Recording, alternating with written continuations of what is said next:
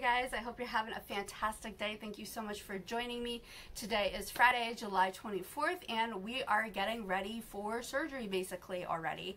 Um, it feels like, you know, that I've been waiting forever on one hand, and then on the other hand, it feels like it's coming up super, super fast.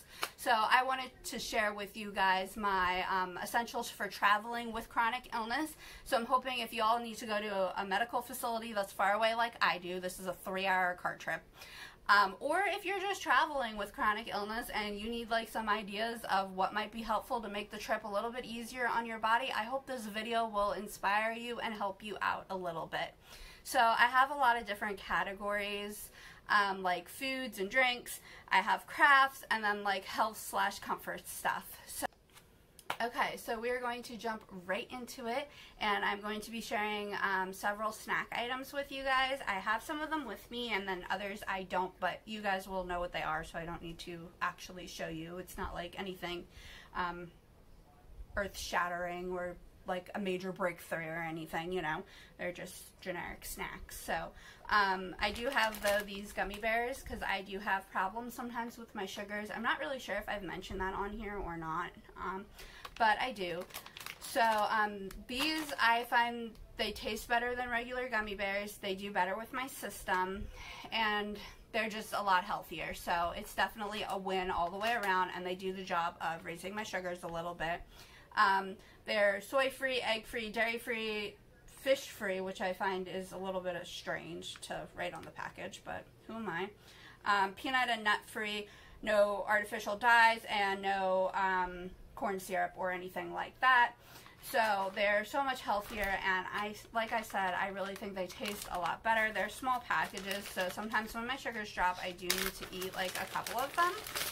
I'll show you. They're really tiny, but they're a really awesome treat to have. So next I have some stuff by the brand Made Good. And again, these are like free of so much. Um, they're organic. Here's the free. They're peanut free, tree nut free, wheat and gluten free, soy free, dairy free, egg free, sesame free, and fish and shellfish free. So they're really allergy friendly. And they actually have fruits and veggies in them, and I actually do really good with them, which I was super surprised. I'm only bringing like two packages of each of these, but these are the granola bars. They're really small, but they're super good. They're meant for like kids' lunches, but my system does great with them and I'm not to play with it. So they're like my healthier snacks and I'm so excited. It was really exciting for me to finally find like a granola bar and granola bites that like do good with my system. And then I'm probably going to be bringing um, pretzels uh, for the sodium. This way, if I have blood pressure issues in the car, we can fix that. Because um, I'm trying to just, you know, dot all my I's and cross all my T's with everything. And speaking of teas, that leads me into the um, drinks that I'm bringing. Um, obviously, I'm going to be bringing tea. If you know me, you know I absolutely love tea. I'm actually bringing a lot of tea. I'm probably bringing way too much tea, but I was like, you know what? There's nothing wrong with me carrying a bunch of tea around, to be honest. Um, I drink a lot of it, so I don't know how long I will be in the hospital. And if I just want like a certain type of tea, at least like I can ask somebody to bring it for me. So I'll show you all what I have. We have some generic Earl Grey. Nothing super fancy, but I like my black tea, and black tea actually um, is good with my body. Like it helps with different symptoms for me. So, and then we have just decaffeinated Earl Grey. And then something with a little bit less caffeine, English breakfast tea. So I just got some of those in a Ziploc. And then these I really love. So these are tea leaves, and I will show y'all. I got these disposable tea bags on Amazon, and I think they are like the best invention in the world. So I just put like my tea leaves in here, and now I can carry them with me. And not only that, but they're disposable, so I don't need to worry about like rinsing it out or washing it. Nothing like that. So I thought these are perfect for after surgery. I love tea leaves, and I don't really want to have to like ask somebody like to fill up the reusable tea bags and you know it makes a little bit of a mess. So I wanted to make this as easy as possible. So these last four T's are by the T2 company. So it's the letter T, the number two, and then T. So these are the bedtime. It's like a sleepy time blend, um, which tastes like the Teavana bedtime. Lavender Dreams is what Teavana called it. They just call it like sleepy time tea. It's really good though. It's a decaf um, herbal and I think white tea blend, if I'm not mistaken. And then the rest of them are just like different black teas that I really love. So I wanted to bring it with me more so like for comfort than anything else. This is the Madagascan. And I think I got like 15 or so bags that I threw in here. So the disposable tea bags, I ended up getting 200 of them and I do plan on filling them all before I leave um, so that like when I come home I can just you know use them this way as well and I don't need to use like my reusable tea bags or anything. I just feel like it's going to be easier especially when I'm not able to move around as much um, and like I said I don't really want to ask somebody to be doing that. So and this one is Meller I'm not, oh yeah, I did say that name. Madagascan Vanilla is the actual full and this one I will link below. It's like Melbourne or something. It's not easy to pronounce that one. But it does taste good. And I feel like this is like not a really strong flavor. So I wanted to bring kind of like a lot of these two because like the flavoring's not as strong. It's good, but not like super strong. The other one I have is called New York Tea. It is like my all-time favorite, but it is a really, really strong blend.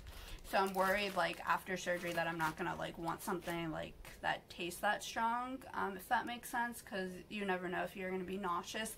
They do actually want me to be taking pills that morning, so I'm not sure like how anesthesia is gonna work if I'm gonna be like really nauseous. So we'll just see.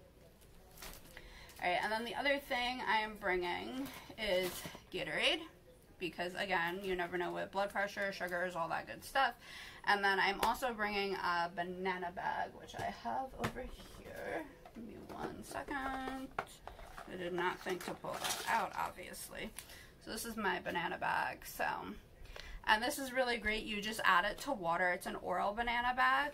So it makes it super easy. And it's going to be good in case like I'm really dehydrated or I feel like I need like vitamins or something that's like safe and okay to use before surgery. So we're going up the day before. So at least like I don't have to, you know, do like a super long car trip and then go right into surgery. At least like I can take the car trip, relax a little bit, and then have the surgery. Alright, so Alright, so next we're gonna go like over my crafts because I figured it would be good like to keep my mind occupied like while we're traveling um, because it is such like I said a long trip. Um, I am going to have my phone to listen to audiobooks and then I have one of these really easy tie blankets. So I already cut it all up and all you do is literally tie the ends. So it's like super easy. It like doesn't require obviously much thought. It is kind of huge though, um, so it takes up a little bit of space, but that is okay. But I figure that's a nice easy craft. I kind of sort of know how to crochet, not that well, but I figured I have stuff. I'm thinking of making my cat a blanket. Um, the other blanket, I don't really know who it's going to be for. I'm thinking of like just donating it. We know of uh, like it's not like a homeless shelter. It's like a warming station, I think they call it. So I was thinking of like donating the blanket because I don't really have anybody to give it to. Um, but yeah, so I'm bringing those crafts to do in the car and listening to audiobooks. And of course, I'll have headphones so I can potentially put on music if I want to. I guess I could try to watch a video. I haven't really thought of that until now, but Alright, and then the last category is like health stuff. Um, I don't have it with me, but y'all know what some of this stuff looks like. I'll have like my thermometer, blood pressure cuff, um, and pulse ox. So that type of stuff, like I've mentioned before on my channel. So, um, and then I have this, which you hook up to the bottom of like your seatbelt. This way on the way home, it can like rest on my stomach. I don't actually know where they're cutting me open, but I wanted to have stuff just in case, like, cause I don't know, like, pain-wise, like, I know right after surgery, like, every bump kind of bothers you, so I don't really want the seatbelt to bother me on top of all the bumps, so we're to be using that, and it came with a pretty nice pattern, I mean, they're stars, so that's kind of pretty, and then, of course, I have my port pillow, so that, like, rests up here on the seatbelt, and that's, like, just something I usually use anyways, so it's obviously since I use it all the time, it's coming with me. And then I have my heating pad, which is cordless, which I've showed on here. I don't have it with me right now. But um, it only lasts for like a couple, like an hour or so, like at really hot. I like the heating pad up like all of the way.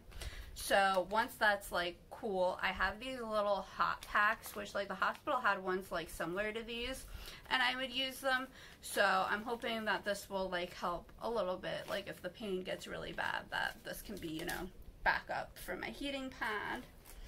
I am going to be bringing my TENS unit. I figured in case the dystonia starts bugging me, this would be a really nice idea. So yeah, you just kind of put the pads, I usually put them on my uh, upper back slash neck area. That's usually where I get the most relief and then you just turn it on for like about 20 minutes or so. Um, it times you and there are different settings. So,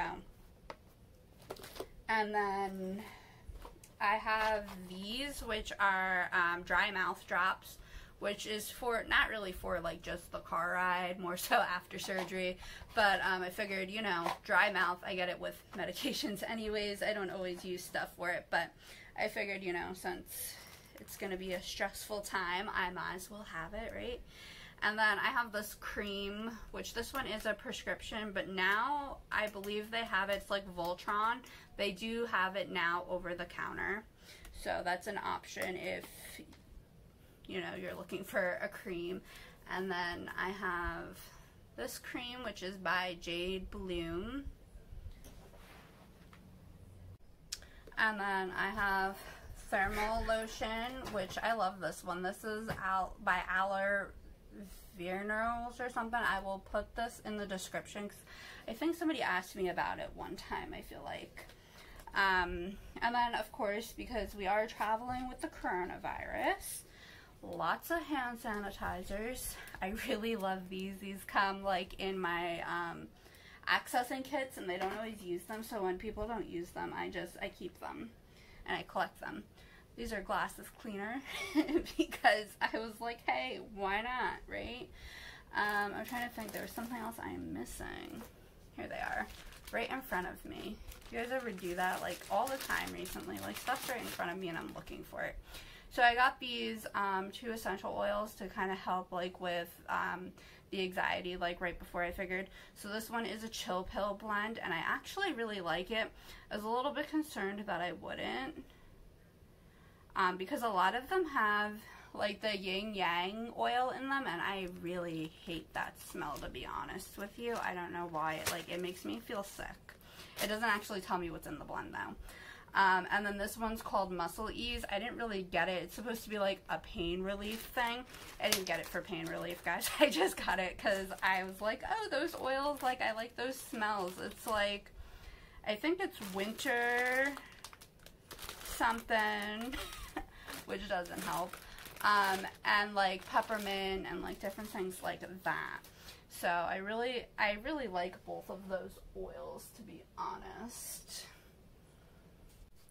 And last but not least, I have this squishy pillow with beads that I'm bringing because I figured that might help also with the pain for afterwards because I really don't know what to anticipate because it might be like an open surgery at this Alright guys, so let me know in the comments below if you do a lot of traveling, um, and if so, let me know what things are like your must-haves when taking a car trip.